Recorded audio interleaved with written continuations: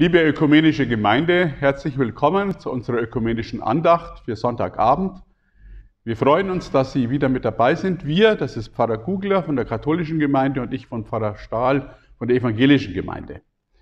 Jetzt könnten Sie raten, wo wir heute sind. Wir haben ja immer gewechselt zwischen evangelischer und katholischer Kirche. Das letzte Mal waren wir in der Sebastianskapelle und heute sind wir im Gemeindezentrum in Altomünster. Davon sehen Sie jetzt nur ein kleines, ein kleines Ausschnitt, aber er ist groß genug und die Möglichkeiten sind hier so, dass wir gut Gottesdienst feiern können. So beginnen wir diesen Gottesdienst im Namen Gottes des Vaters und des Sohnes und des Heiligen Geistes. Amen. Und singen aus der katholischen Tradition das erste Lied. Mein Hirte ist Gott, der Herr Nummer 421 im katholischen Gotteslob.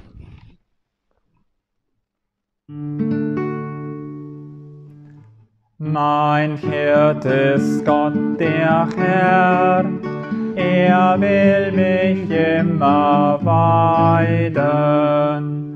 Darum mich nimmer mehr kann Not und Mangel leiden.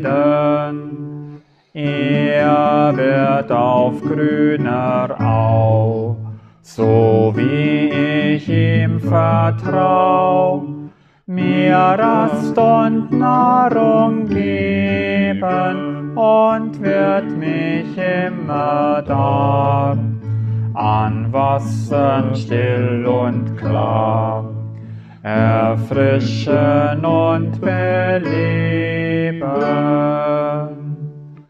Er wird die Seele mein mit seiner Kraft erquicken, wird durch den Namen sein, auf rechte Bahn mich schicken.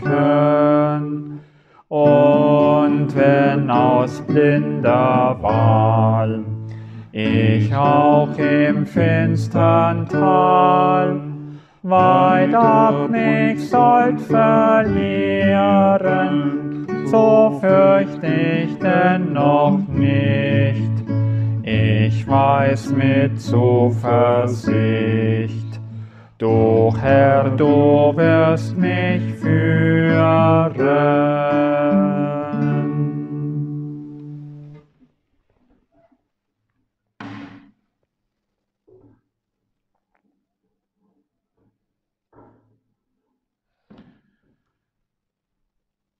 Lieber Vater im Himmel, du bist ein großer Gott, dessen Größe wir nicht erfassen und verstehen können. Aber wir danken dir, dass deine Liebe noch größer ist als alles, was wir fassen und verstehen können. Und wir danken dir für alle Bilder, die wir haben dürfen, die dich uns näher bringen. Zum Beispiel auch das Bild, dass du ein guter Hirte bist, von dem schon David gesungen und gedichtet hat. Der Herr ist mein Hirte, mir wird nichts mangeln. Er weidet mich auf einer grünen Aue und führt mich zum frischen Wasser. Er erquickt meine Seele. Er führt mich auf rechter Straße um seines Namens willen. Und ob ich schon wanderte im finstern Tal, fürchte ich kein Unglück, denn du bist bei mir. Dein Stecken und Stab trösten mich. Du bereitest vor mir einen Tisch im Angesicht meiner Feinde. Du salbst mein Haupt mit Öl und schenkst mir voll ein. Gutes und Barmherzigkeit werden mir folgen mein Leben lang und ich werde bleiben im Hause des Herrn alle Zeit. Amen. Wir singen jetzt aus der evangelischen Tradition, aus der anglikanischen Tradition, aus dem evangelischen Gesangbuch Nummer 594, drei Verse von dem Lied Der Herr, mein Hirte, führet mich. Wir haben heute viele Lieder, die Gott als den Hirten beschreiben, in unterschiedlichen Melodien, aber immer dem gleichen wichtigen Inhalt. Der Herr, mein Hirte, führet mich, für wahr nichts mangelt mir. Er lagert mich auf grünen Auen bei frischem Wasser hier. Erquickung schenkt der meiner Seele und führet gnädiglich um seines hohen Namens her auf rechter Straße mich. Geh ich durchs dunkle Todestal, ich fürcht kein Unglück dort, denn du bist da, dein Stecken und Stab sind Tröstung mir und Hort.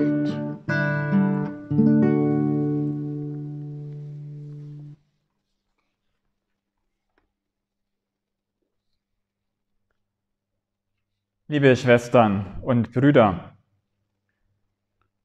im Johannesevangelium steht, ich bin der gute Hirte, ich kenne die meinen und die meinen kennen mich. Aber kennen wir Jesus wirklich als guten Hirten? Ja, können wir ihn so kennen angesichts von so viel Leid auf unserer Welt? Kennen, das heißt in der Sprache der Bibel eins sein. Wenn Jesus sagt, er kennt uns, dann heißt das, Jesus ist mit uns eins. Und das gilt in allen Lebenslagen, gerade auch im Leiden. Vielleicht gerade in dieser Erfahrung, auf der wir Menschen doch so gerne verzichten möchten. Wie kann man umgehen mit dem Leiden. Die Gründerin der Fokularbewegung, Chiara Lubich, sie sprach in ihren Reden gerne vom verlassenen Jesus. In seiner Einsamkeit am Ölberg und am Kreuz, so meinte sie, hat der Herr uns gezeigt, was Leiden heißt. Wenn bei ihr solche Gefühle aufkommen, so meint sie weiter, dann fühlt sie sich ganz besonders mit Jesus verbunden. Ein spannender Gedanke, der vielleicht Antwort geben kann auf die Frage, ob wir Jesus kennen können als den guten Hirten angesichts des Leidens. Ja, wir können Jesus kennen. Wir können mit ihm eins sein, gerade auch im persönlichen oder im Leiden dieser Welt. Jesus, er ist eins mit uns seit unserer Taufe. Und wir sind eins mit ihm in der Freude und auch im Leiden. In beiden Erfahrungen des Lebens können wir Jesus kennenlernen. Und trotzdem bleibt die Frage, ist dieser Jesus ein guter Hirte? Ein guter Hirte, der bleibt bei seinen Schafen, gerade auch dann, wenn es schwierig wird. Jesus geht da mit gutem Beispiel voran. Er ist nicht vom Kreuz davon gelaufen. Damit zeigt er uns, gerade in den schwierigen Momenten kümmert er sich um uns, um seine Herde. Er stellt sich ganz und gar an unsere Seite. Und so führt er uns auch in den Momenten, in denen wir am liebsten davonlaufen möchten. Die Führung von Jesus führt nicht am Kreuz vorbei, aber sie trägt uns durch die Momente des Kreuzes hindurch. Diese Führung, die können wir spüren zum Beispiel, wenn wir, so wie jetzt im Gebet als Schwestern und Brüder miteinander verbunden sind. Da spüren wir auch, wenn es über das Internet ist, eine Verbundenheit, die uns sagt, ich bin nicht alleine, Sie sind mit dabei. Wir sind verbunden miteinander und mit Jesus. Die Führung von Jesus können wir auch erfahren in der Heiligen Schrift. Gerade jetzt in diesen Zeiten vielleicht eine schöne Gelegenheit, mal wieder ein Buch zur Hand zu nehmen und insbesondere auch das Buch der Bücher, um mal nachzuschauen, wie Jesus da ist für mich, welches Wort er gerade jetzt hat in meiner Situation. Und ich kann die Führung von Jesus erfahren in lieben Menschen, in Personen, die zum Beispiel anrufen bei mir oder einen Brief schreiben oder einfach sagen, ja, ich bringe dir was vorbei, ich helfe dir, ich bin mit dir. In diesen Momenten wird die Führung Gottes erlebbar. Jesus, der gute Hirte, er wird greifbar. Und so führt er uns. Psalm 23, den wir eingangs hörten, Jesus führt uns dann hin zu lebendigem Wasser. Das ist Leben. Wasser ist Leben lebendiges Wasser, letztlich Wasser des Lebens, ist letztlich das ewige Leben, ist aber keine pure Vertröstung, sondern konkreter Trost, weil Jesus es uns vorgelebt hat in seinem Leiden und in seinem Auferstehen. Dieser Jesus, der mutet uns so manches zu aber er gibt uns durch seinen Beistand auch Mut zum Weitergehen. Deshalb, liebe Schwestern und Brüder, gehen wir mit Jesus, dem guten Hirten, unseren Weg weiter. Er kennt uns und wir sind eins mit ihm. Amen.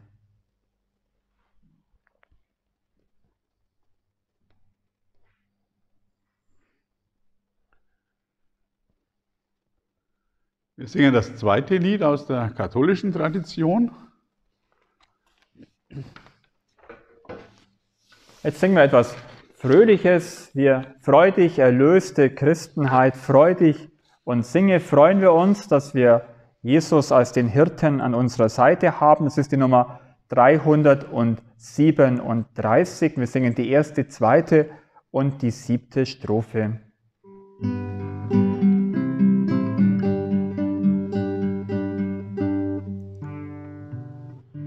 Freudig erlöste Christenheit, freudig und singe. Der Heiland ist erstanden heut, Halleluja. Sing fröhlich, Halleluja. Drei Tage nur hielt ihn das Grab, freudig und singe.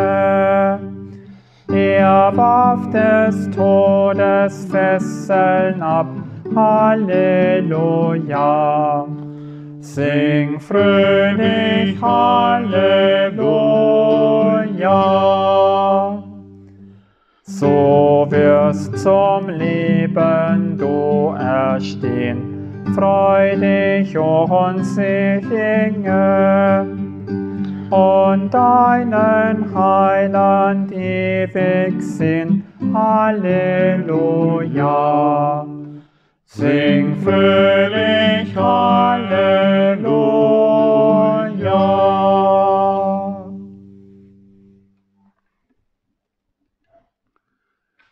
Lasst uns für Bitte halten.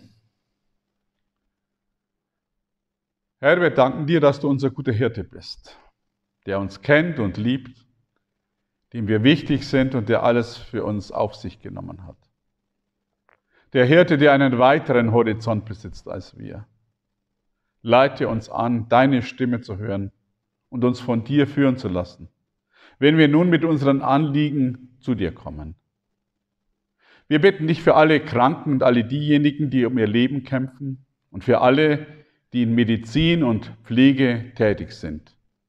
Du, unser Gott, sieh unsere Not und hilf uns. Sieh unsere Not und hilf uns. Wir bitten für Forscherinnen und Forscher und alle, die Entscheidungen treffen müssen in Politik und Unternehmensleitungen. Für alle, die weiterarbeiten im Einsatz für andere. Für alle, die die Arbeit wieder aufnehmen können. Für alle, die weiterhin von Beschränkungen betroffen sind. Auch für alle Feuerwehrmänner und Frauen, die Waldbrände und Moorbrände auch bei Tschernobyl bekämpfen. Du, unser Gott, sieh unsere Not und hilf uns. Wir bitten für die Abiturientinnen und Abiturienten und für alle Schülerinnen und Schüler, die wieder zur Schule gehen können. Für alle, auch die weiterhin nur Homeschooling tun können. Du, unser Gott, sieh unsere Not und hilf uns. Wir bitten dich für die Besorgten und für die Sorglosen, für die Ungeduldigen und für die Mahnerinnen und Mahner, für die Überforderten und für die Gelangweilten, für die Einsamen und alle, die Nähe vermissen, für alle, die nicht wagen, um Hilfe zu bitten, für alle, die Begleitung und Beistand bieten. Du, unser Gott, sieh unsere Not und hilf uns. Und wir bitten für alle Gläubigen in allen Religionen und Konfessionen, die ihren Glauben nicht so feiern und praktizieren können wie sonst. Wir bitten dich für alle, die für Frieden eintreten, auch zwischen den Religionen. Du, unser Gott, sieh unsere Not und hilf uns. Unsere Nöte, aber auch unseren Dank fassen wir zusammen in den Worten, die der Herr uns gelehrt hat. Vater, Vater unser im Himmel, geheiligt werde dein Name, dein Reich komme, dein Wille geschehe, wie im Himmel, so auf Erden. Unser tägliches Brot gib uns heute und vergib uns unsere Schuld wie auch wir vergeben unseren Schuldigern. Und führe uns nicht in Versuchung, sondern erlöse uns von dem Bösen. Denn dein ist das Reich und die Kraft und die Herrlichkeit in Ewigkeit. Amen.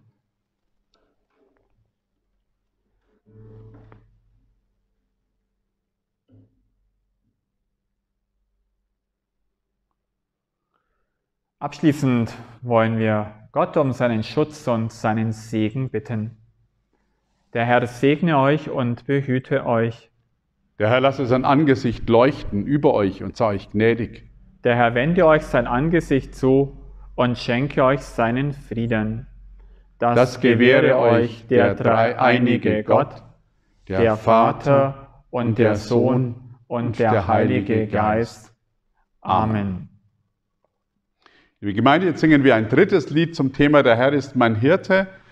Bei diesem dritten Lied, bei diesem etwas moderneren Lied auch, gibt es einen Abschnitt, der immer wieder kommt, der Refrain, und der heißt, die letzten beiden Verse, Güte und Barmherzigkeit umgeben mich dann alle Zeit, ich bleib bei dir in Ewigkeit. Ich singe sie dann mal vor und dann können Sie, auch wenn Sie das ganze Lied jetzt noch nicht kennen, da gern immer mitsingen. Also der Abschnitt, der immer wieder kommt. Güte und Barmherzigkeit umgeben mich, dann alle Zeit ich bleib bei dir in Ewigkeit. Gott ist ein wunderbarer Hirt. Nichts fehlt mir, wenn sein Geist mich führt. Sein Ziel ist grünes Land, geh ich an seiner Hand, seiner Hand. Gott ist ein wunderbarer Hirt, der mich zum frischen Wasser führt. Er gibt der Seele Mut, sein Weg ist für mich gut. Er ist gut. Güte und Barmherzigkeit umgeben mich dann alle Zeit. Ich bleib bei dir in Ewigkeit und wandre ich im finstern Tal und zweifle dann und wann einmal, fürchte ich kein Unglück mehr, denn du bist hier bei mir, bei mir. Dein Hirtenstab gibt Sicherheit. Du lädst mich ein, schenkst Raum und Zeit. Die Feinde schauen verhasst, bin ich bei dir zu Gast, zu Gast. Güte und Barmherzigkeit umgeben mich, dann alle Zeit ich bleib bei dir in Ewigkeit. Mit Salböl wird mein Haupt verwöhnt der volle Becher mir gegönnt. Die Sehnsucht kehrt nun heim, lässt du mich bei dir sein, bei dir sein. Güte und Barmherzigkeit umgeben mich, dann alle Zeit ich bleib bei dir in Ewigkeit.